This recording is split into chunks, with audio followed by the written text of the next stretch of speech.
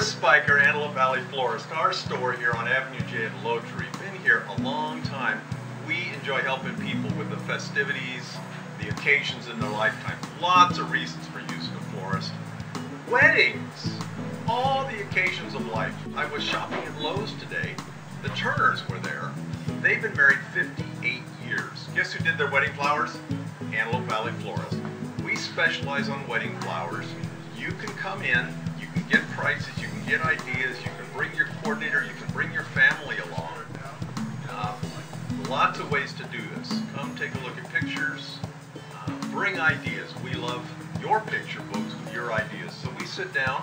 There are a couple of videos floating around on the AV Florist website, on YouTube under AV Flowers, of Penny selling weddings, servicing families, and also at the wedding show that happens every year at the AV Fairground.